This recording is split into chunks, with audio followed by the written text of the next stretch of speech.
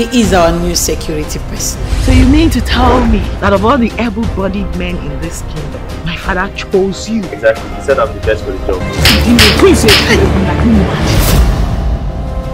I want the boy sacked. It is only the king that has such right in this palace. It's man that old men used to stand. That is what the fine boy decided to be in the palace. Stop it. I have ulcer, and the doctor said I must eat food. Will you put on your uniform and go back to work immediately? You haven't eaten? I haven't, I've not eaten all day. What actually happened? She hates me with a passion. That boy has been going through a lot, especially in the hands of the princess. Who is your father?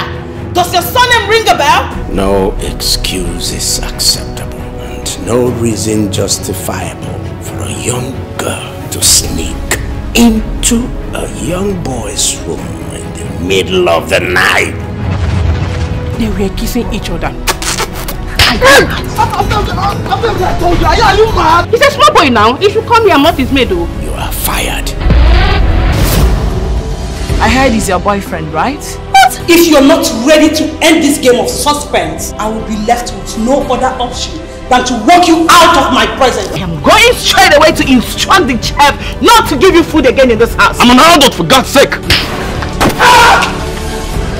You must know that in this world, nobody owes you any love and affection. Some of you have turned this sacred place to a cesspit. Do you mean the palace is now a hotel?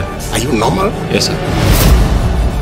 As I look at faces, I am looking at faces that are guilty. I'm still a virgin. Hey, shut up! My brother, the prince, will soon return. When he does, we shall find out whether you remain in this palace or not.